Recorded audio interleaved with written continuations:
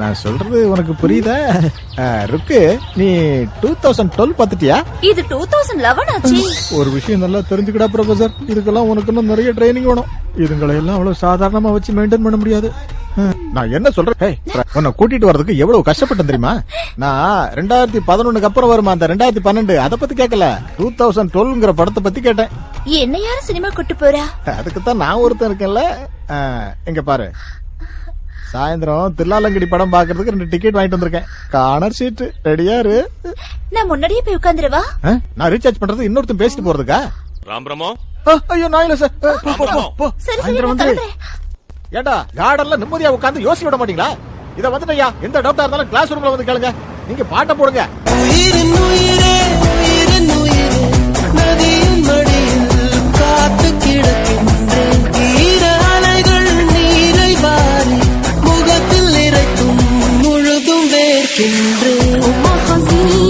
அடி பாடி வேலை செஞ்சா அலுப்பு இருக்காது. அடடே அலுப்பு இருக்காது. யார் இந்த பாத்ரூம் காந்த குரல்?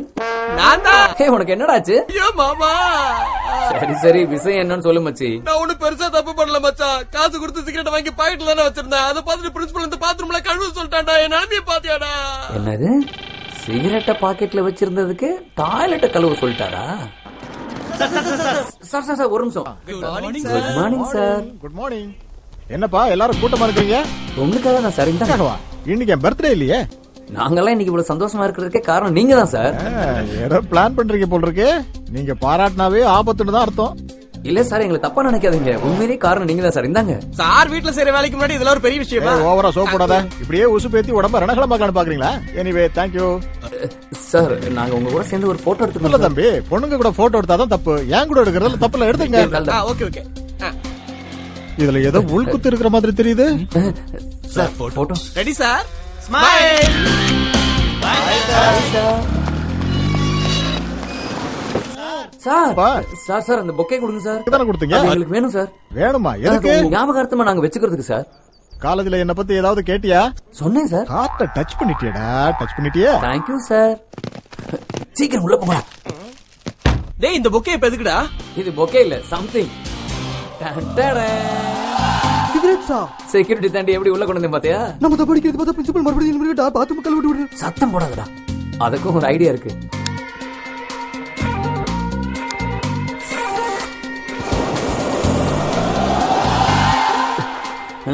என்ன மூலடா உனக்கு டேய். ஏய் டேய், எல்லாத்தையும் கொடு. குடுறா ஆ, இந்தாங்க. ஆ, இந்தாங்கடா பலூன்ஸ் இது எதுக்குடா? ஏ எடுத்துக்கடா லெட் அஸ் ஸ்டார்ட்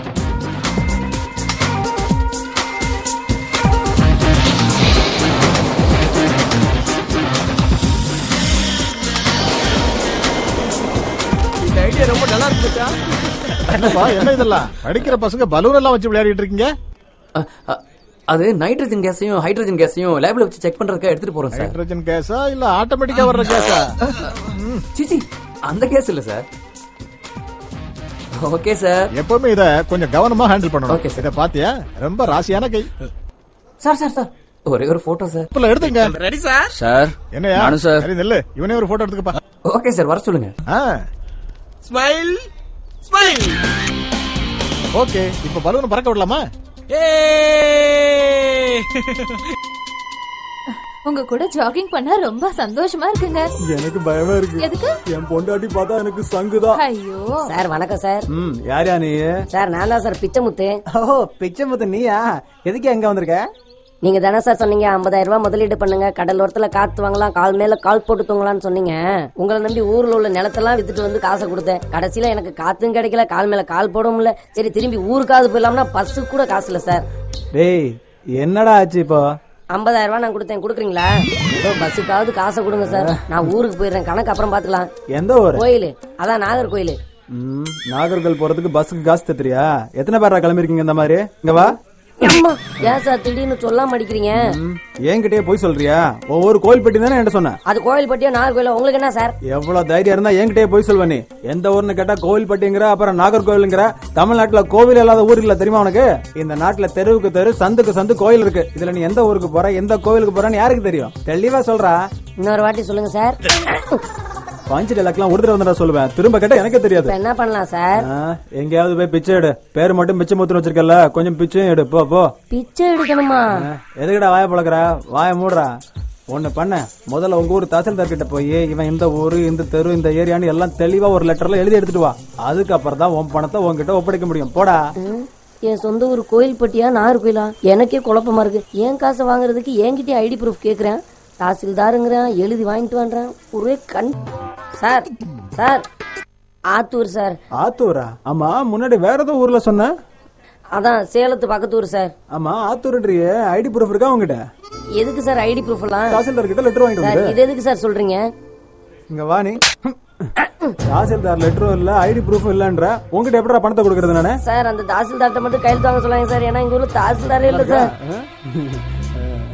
டேய் என்கிட்ட போய் சொல்றியா நீ? சார் சார் சார் சார் அப்படிலாம் இல்லைங்க சார். என்னைய நம்புங்க சார். காசை மட்டும் கொடுத்துருங்க சார். நான் ஊருக்கு போயிருவேன் சார். முடியாது. சார் நீங்க பணத்தை வாங்கும்போது இதெல்லாம் சொல்லவே இல்லைங்களே சார். எல்லாத்தையும் சொல்லியிருந்தா பணத்தை நீ கொடுத்துருப்பியாடா? ஒரு விஷயத்த மட்டும் நல்லா தெளிவா புரிஞ்சுக்கோ. பணம் யார்கிட்ட இருக்கணுமோ அவங்க கிட்டே இருக்கட்டும். சார் என் பத்து லட்சத்தை கொடுத்துருங்க சார். டேய் போடணும். இந்த டீ எடு.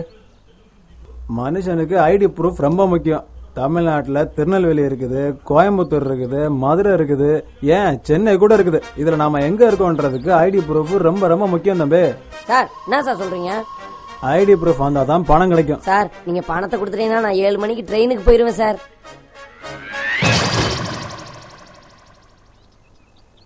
இப்படி எல்லாம் சொல்லி என்ன சமாளிக்கலாம்னு நினைக்கிறியா? ஏய் ஒழுங்கா சொன்னதை கேளு. உன்னை பார்த்தா எனக்கு சந்தேகமா இருக்கு. உனக்கு எந்த ஊரோ அந்த ஊர்ல போய் ஒழுங்கா எழுதி வாங்கிட்டு வா. மொத்தம் பத்து லட்ச ரூபா வருது சார். அந்த பத்து லட்ச ரூபாயை கொடுத்துருங்க? சார். பத்து லட்சம் கொடுக்கணுமா?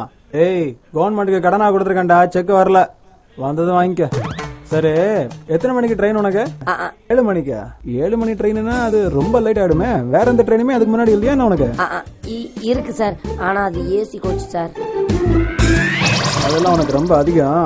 நீ ஒண்ணு பண்ண. எல்லா வேலையும் முடிச்சுட்டு லாஸ்ட் பஸ் எத்தனை மணிக்குன்னு கேட்டு அதுல போய் சேரு. சரி லாஸ்ட் பஸ் எத்தனை மணிக்கு? ஒன்பது மணிக்கு சார் ஒன்பது மணி ரொம்ப சீக்கிரமா இருக்குல்ல? அதுக்கப்புறம் எத்தனை மணிக்கு இருக்கு? அதை விடுங்க சார் முதல்ல செக் எத்தனை மணிக்கு வரும்னு சொல்லுங்க சார் இத கொஞ்சம் பொடி. சோ நீ என்கிட்ட இருந்து பணம் வாங்காம போக கூடாதுன்னு ஒரு முடிவுல தான் இருக்க. சரி அப்ப ஒண்ணு பண்ணு. நீ ஆத்தூர்ல போய் எழுதி வாங்கிட்டு வா. அதுக்குள்ள செக் பாஸ் ஆகி பணம் ரெடியா இருக்கும். சரி இப்ப நீ எங்க தங்க போற? ஏற்கனவே வாங்கிட்டு வந்த சர்டிபிகேட் இருக்கா உங்ககிட்ட என்ன சர்டிபிகேட் சார் என்ன சர்டிபிகேட்டா ம் இதெல்லாம் கொண்டு கார்ல வை. கான்டாக்ட் சர்டிபிகேட்ரா யார் கொடுப்பாங்க சார் மேயர் கிட்ட போய் வாங்கிட்டு வா. இல்லனா அவருக்கு மேல இருக்கிற எம்எல்ஏ கிட்ட வாங்க. இல்லன்னா மினிஸ்டர் கிட்ட போய் வாங்கிட்டு வா. இந்த சர்டிபிகேட் எதுவும் இல்லாம மறுபடியும் சென்னைக்கு வந்து பணம் வாங்கணும்னு நினைக்காத. சர்டிபிகேட் இல்லாதவங்களுக்கு நான் பணம் கொடுக்கறது இல்ல மனசுல வச்சுக்க. வாங்கும்போது எதுவும் கேட்க மாட்டாங்க ஆனா கொடுக்கும்போது மட்டும் எல்லாமே கேக்குறாங்க. எந்த எம்எல்ஏ கிட்ட போய் நான் சைனா வாங்குறது? அவங்க என்ன கேட்க போறாங்களோ?